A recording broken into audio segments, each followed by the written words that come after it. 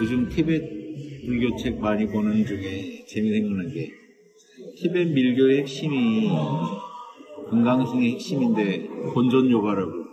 내 몸을 부처님 몸이라고 관하는 내 몸을 시각화를 통해서 내 몸이 부처님 몸이라고 상상하면서 깨어서 이 또한 공하다 하면서 법공의 진리를 인가하면서 동시에 내 몸이 부처님 몸이라는 걸 그래서 법공을 인가하는 그 알아차림은 법신이라면 내 몸은 색신이니까 법신과 색신을 함께 잡고 선정과 지혜를 함께 잡고 깨어서 또 시각화하는 그런 몰입행위를 하면서 수행하는 이 선정과 지혜라는 게 법신의 모습을 염하면서 동시에 이 또한 공하다는 진리를 인가하니까 정해쌍수.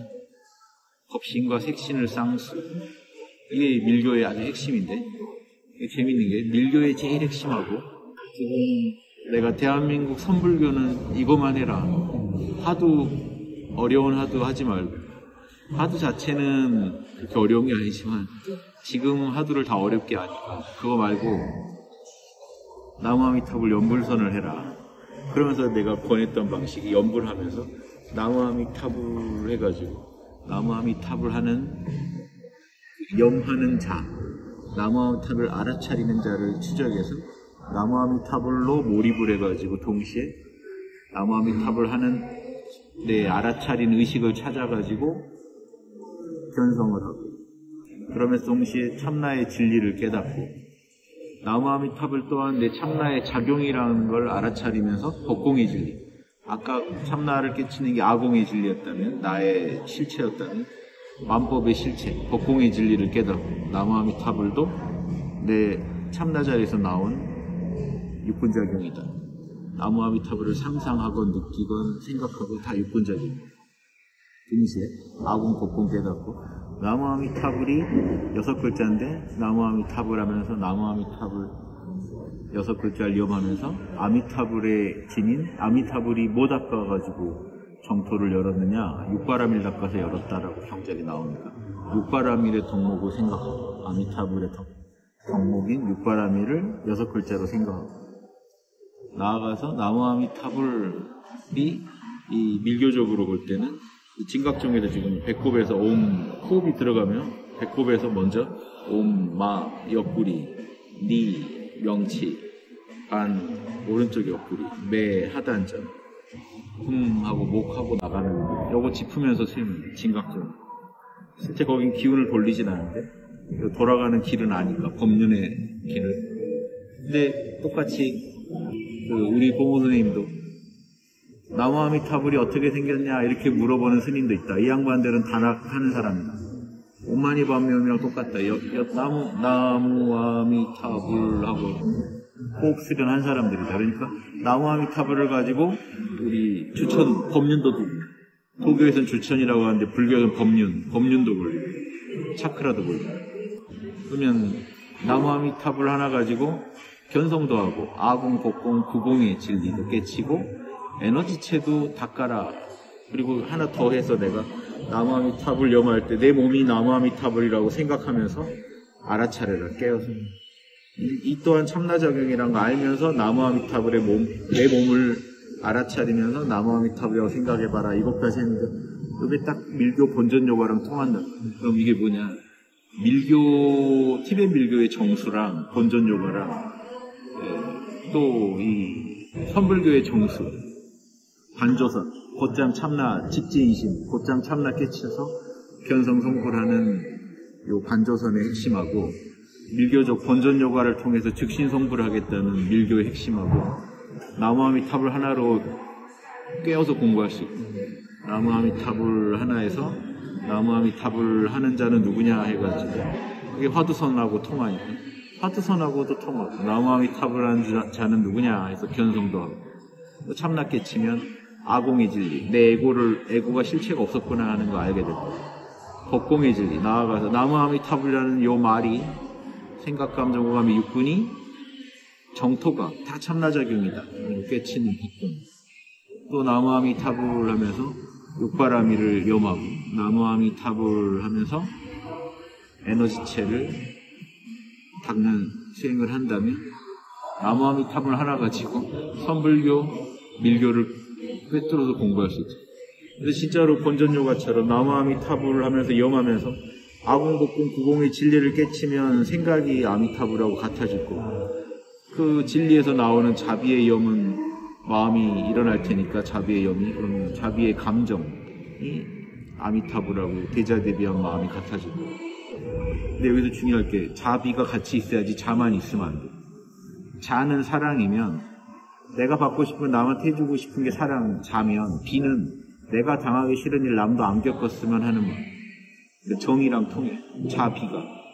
그러니까 자만 있으면 베풀고 싶은 마음만 있고 비가 없으면 정의가 없는 거란 말이야. 베풀고만 싶지 남이 힘든 거 도와줄 마음이 없을 수 있다. 그러니까 자 비를 같이 갖추면 내가 받고 싶은 거 남한테 해주고 내가 당하기 싫은 일 남한테 안 하는 그게 비연민이지 슬픔. 왜 슬픔? 네. 저 사람이 당하는 일이 내가 나, 나, 나라도 당했으면 싫을 일을 당하고 있으니까 슬픔. 그걸, 그걸 바로 잡아주고자 하는 게 정의. 그래서 자비가 같이 있어야 돼. 자비의 염이 꽉 차고 상단전에서는 아공 복공 구공의 진리를 꿰, 꿰뚫어 아는 진리의 지혜가 중단전에서는 사랑 자비의 감정 하단전에서는 에너지체가 하단전 단전의 기운의 바탕을 두고 에너지가 충만해져 그대로 아미타불 내가 아미타불이 되는 건데 그 티베트 일교 본전 요가나 즉신 성불하겠다는 이번 생에 견성하면 바로 성불이라는 선불교가 나무 아미타불 하나에서 깨진다 이렇게 생각하면 재밌잖아 나무 아미타불 하나로 선불교 밀교를 다 꿰뚫어서 공부하면 이득이지 않나 이런 생각을 해봤습니다 K불교. K불교의 미래는 나무 아미타불에 있다. 이미 이런 얘기는 앞에 강의 때 다 나갔는데 이번에는 아무튼 깨가지고 선불교 밀교까지 깨서 요즘 마침 TV불교 공부를 좀 더 하다 보니까 TV불교 밀교라는 것도 별거 별게 아닌데 그렇게 내 몸이 부처라고 염하거나 두 번째 차크라 열어가지고 경락의 기운 돌려가지고 그 실제로 에너지체까지 확보하거나 무지개 몸까지 만들거나 티벳 밀교의 제일 정수예요. 아니면 곧장 참나각성에서 견성 성불 하는 족첸이나 착첸 마음두라를 착첸이라고 하는데 족첸, 착첸 명상을 하거나. 이세 개가 티벳 무상요가의 제일 비, 비방이기 때문에 그럼 나무아미타불에서 바로 견성해서 일체가 나무아미타불이고 일체가 정토인 줄 알아버리면 아분곡동 깨쳐버리면 그대로 족첸이고 나무아미타불 한마디에 족첸이고 근데 그렇게 되려면 하나 중요한 게 나무아미타불에 매달리면 안 돼.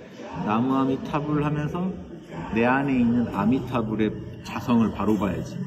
나무아미타불은 방편이고 나무 아미타불 하면서 요거는 내려놓고 내 안에 있는 진짜 아미타불의 법신을 만나야지. 그대로 족첸이 되고 최상승선이 되지. 나무 아미타불에 몰입하려고 집착하면 최상승선은 아니고 대상이 있는 몰입이 되고 바로 나한테 몰입을 해야지 최상승선.